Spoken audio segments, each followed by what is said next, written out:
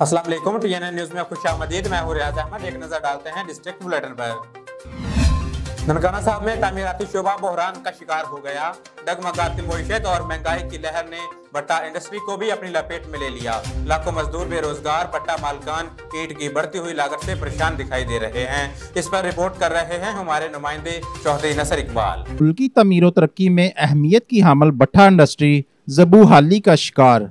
हकूमती अदम तवज्जो की वजह से अस्सी फ़ीसद बट्ठे जुजवी तौर पर बंद हो चुके, जबकि बीस फ़ीसद बट्ठे मकम्मल बंद हो गए।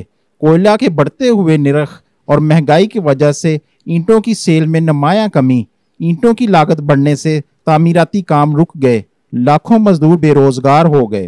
काम करदा सा पट्ठा बंद हो गया तो कम है, कोई नहीं सी, अखीर फिर कुल्फियाँ बेचदा, मेरी तीन सौ, चार सौ रुपया दिहाड़ी बन रही है ਅਸੀਂ ਜੀ ਗਰੀਬ ਲੋਕ ਹਾਂ ਅਸੀਂ ਕੰਮ ਬੰਦੇ ਕਿੱਥੇ ਜਾਈਏ ਕਿਹਦੇ ਅੱਗੇ ਤਰਲਾ ਕਰੀਏ ਹਕੂਮਤ ਨੂੰ ਚਾਹੀਦਾ ਜੀ ਸਾਡਾ ਖਿਆਲ ਕਰਨਾ ਕਾਰੋਬਾਰ ਬੰਦ ਹੋਇਆ ਸਾਡਾ ਅਸੀਂ ਬੜੇ ਚਿਰ ਦੇ ਵਿਹਲੇ ਹੋਏ ਤੁਰੇ ਫਿਰਦੇ ਆ ਬਾਹਰ ਜੀ ਸਾਨੂੰ ਕੋਈ ਮਜ਼ਦੂਰੀ ਨਹੀਂ ਲੱਭਦੀ ਜਿਹੜਾ ਅਸੀਂ ਕਮਾਉਂਦੇ ਜੋ ਉਹ ਖਾਂਦੇ ਸਾਂ ਸਾਡਾ ਕੰਮ ਜੀ ਬਿਲਕੁਲ ਠੰਡਾ ਪੈ ਗਿਆ ਹੈ भट्टा मालकान का कहना है कि महंगाई की लहर ने हमारे कारोबार को बहुत मुतासर किया है मुल्की हालात ने हम सफ़ेद पोश लोगों का पर्दा भी चाक कर दिया है कोयला डीजल पेट्रोल और बिजली के साथ साथ तमाम तामीराती काम सामान महँगा होने पर हमारा नुकसान हो रहा है। ईंट की लागत पर पहले की नस्बत बहुत ज़्यादा दुगना खर्चा है। भट्टा मालकान की मजबूरियाँ अपनी जगह, जबकि मजदूर बेरोजगार होने से फाकों का शिकार हो चुके हैं। रियासत माँ जैसी होती है। भट्टा मालकान के तहफ़ात दूर करके मजदूरों को बरसरे रोज़गार किया जा सकता है। Chaudhry Nasar Iqbal T N N news Nankana Sahib.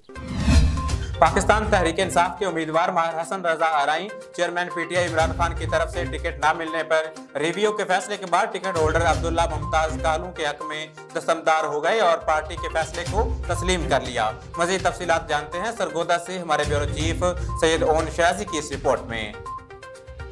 मार मोहसन रजा अराई ने अब्दुल्ला मुमताज़ कालू और मुमताज़ अख्तर कालू के हमरा अपनी रिहाइश गाह पर प्रेस कॉन्फ्रेंस करते हुए कहा कि मैं इमरान खान का सपाई हूँ और इमरान खान की हर काल पर जदोजहद में शामिल रहा। हल्का में मुख्तलिफ़ चैमगोया थी।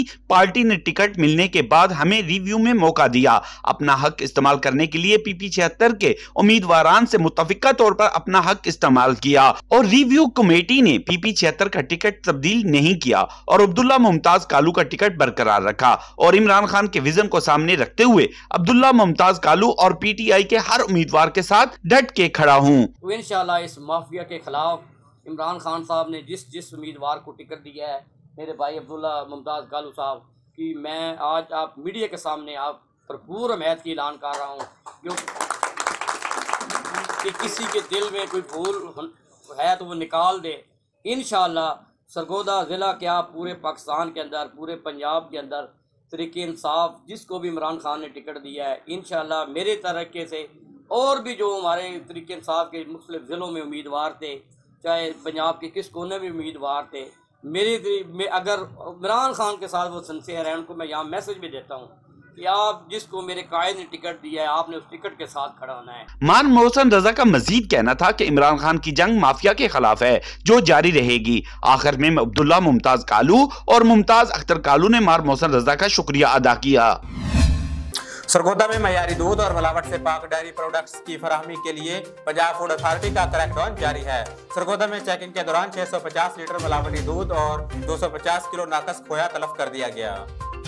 सईद ऑन शराजी की रिपोर्ट के मुताबिक पंजाब फ़ूड अथॉरिटी टीम ने भलवाल के नवाही गाँव थाबिल में जाली दूध बनाने वाले सप्लायर को रंगे हाथों पकड़ लिया। जाली दूध में इस्तेमाल होने वाले मुजर सेहत अज्जा और दीगर सामान भी जब्त किया गया। जालसाज पर एक शख्स के खिलाफ थाना फुलरवान में मुकदमा दर्ज करवाया गया। कोर्ट मोमिन में गैर मैारी खोया बनाने वाले यूनिट के खिलाफ कार्रवाई अमल में लाई गई और मिलावट जदा दूध सप्लाई करने पर एक दूध बरादर गाड़ी को भी भारी जुर्माना किया गया। कुदरती अज्जा से महरूम दूध, पेट, अंतड़ियों और मैदे समेत मुतद बीमारियों का बाइस बनता है।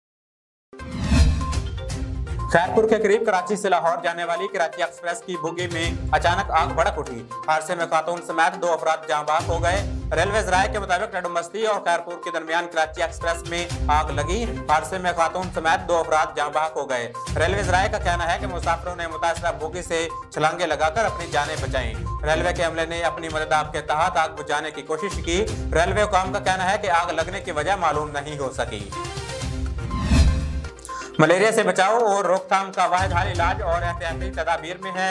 हरनाई में मलेरिया प्रोग्राम, इंडस अस्पताल एंड नेटवर्क और महकमा सेहत की जन्म से मलेरिया से आगाही का आलमी दिन मनाया गया। वाक और तकरीब का भी अहतमाम किया गया। जिसमें असिस्टेंट कमिश्नर, पैरामेडिकल स्टाफ और इस समेत तलबा ने भी कसीर तादाद में शिरकत की। तकरीब से खताब करते हुए मुकर्रीन ने कहा कि मलेरिया से बचाव और रोकथाम का वाहिद हल इलाज और एहतियाती तदाबीर में है। हासिलपुर में थाना सिटी पुलिस की जुराम पेशा नासर के खिलाफ कार्रवाइयाँ जारी हैं। मुख्तलिफ़ मकाम से मोटरसाइकिल चोरी करके पार्ट्स बेचने वाले गिरोह के दो मुलजमान और शराब बनाने वाले मुलजिम को चालू भट्टे समेत गिरफ़्तार कर लिया गया। हासिलपुर डीपीओ बहावलपुर सैयद अब्बास बुखारी की हिदायत पर एसडीपीओ सर्कल हासिलपुर जाम सलीम अख्तर के हुक्म पर और उनके कब्जा से सैकड़ों रुपए मालियत के पार्ट्स बरामद करके ग्रुप सरगना मलिक एजाज और गुलाम रसूल को हवालात में बंद कर दिया, जबकि दूसरे मुकाम से शराब कशीद करने वाले मुलजम से चालू भट्टी बरामद करके मुकदमा दर्ज कर दिया गया। जहानिया में गरज चमक के साथ मौसलाधार बारिश और ज़्यादा बारिश से नशेबी इलाके जेरियाब आ गए जिसके बायस फ़सलें मुतासर होने का खर्चा है। जहानिया और गिरदो नवा में गरज चमक के साथ मूसलाधार बारिश और जालाबारी हुई जिससे मौसम सर्द हो गया जबकि बारिश से नशीबी इलाके जेरियाब आ गए। गलियों और बाजारों में पानी जमा होने से शहरियों को आमदो रफ्त में मुश्किल बढ़ गई बारिश का ये सिलसिला वक्फे वक्फे से जारी है। अब तक के लिए इतना ही। मजीद खबरें देखने के लिए देखते रहिए टी एन एन न्यूज़